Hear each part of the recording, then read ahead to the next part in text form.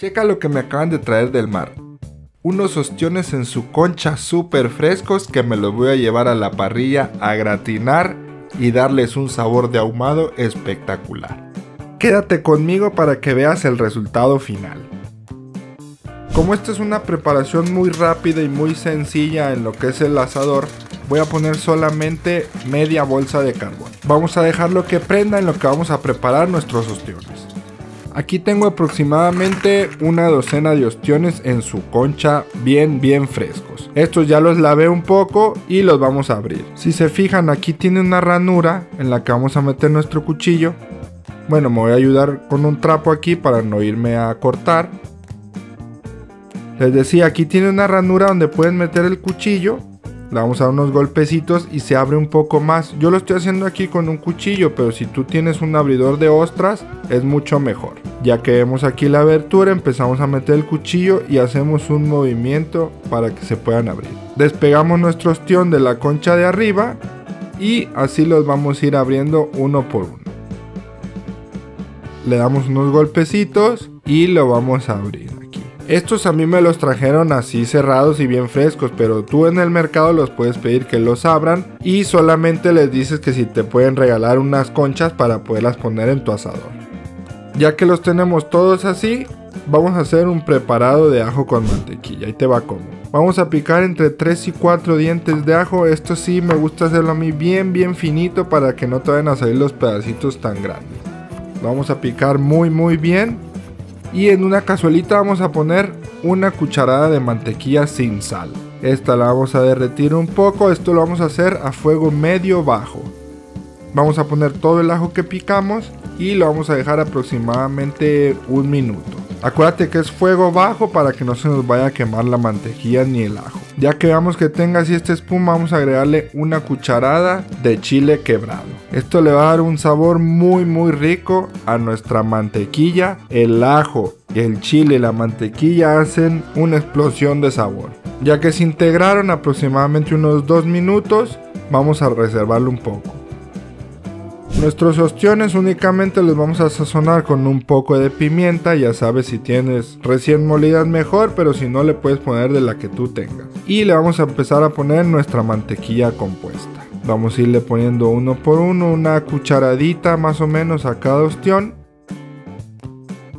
Y al final toda esta mantequillita que nos quedó también se la podemos poner. El olor que se siente entre mar, ajo, mantequilla, no, no, no, todo está excelente. También voy a picar un poco de espinacas, que esto le va a dar mucha frescura y aparte de todo le va a dar un sabor muy muy rico a nuestros ostiones. También le vamos a poner un poco a cada ostión, si te fijas no es mucho, es poquito, poquito de todo, casi casi como para ir preparando cada bocado. También le voy a poner un poco de queso parmesano. Yo te recomiendo que sea queso así parmesano entero y que tú lo puedas rayar porque el de bote sabe muy muy diferente. Este tiene un sabor fuerte pero muy muy rico y a estos ostiones les queda la verdad al punto. Le vamos a poner también su queso parmesano ya vas viendo cómo va haciéndose toda la composición de estos ostiones. La verdad huele muy rico. Se siente el mar, no, no, ahorita vas a ver. Pues ya nuestro carbón está bien prendido. Esta vez no necesitamos tener un área de fuego directo y fuego indirecto. Van a estar aproximadamente entre 7 y 10 minutos, o sea, no es mucho. Los vamos a empezar a colocar aquí en la parte del centro. Van a estar muy muy rápidos, es lo que les decía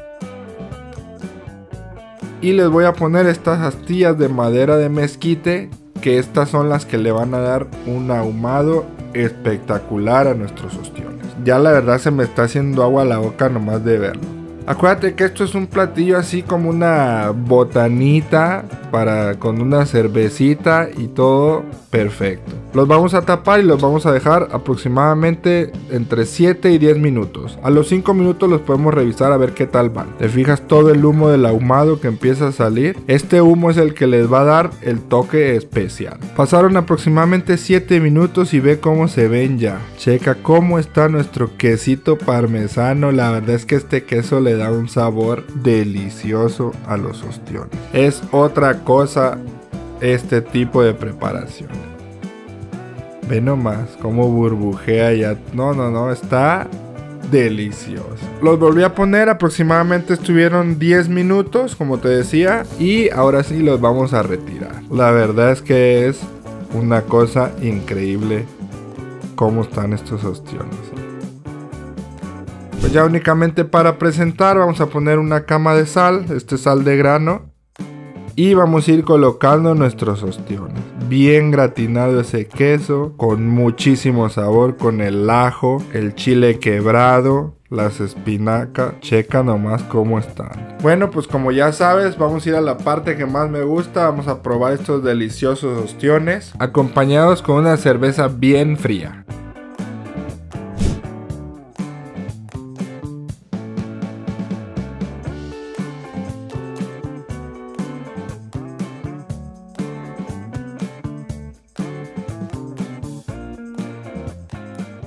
Como te decía, la verdad el sabor está espectacular. Esa mantequilla que hicimos compuesta está de lujo. Y toda la composición del ostión bien fresco, espinacas, su queso parmesano le da un sabor increíble.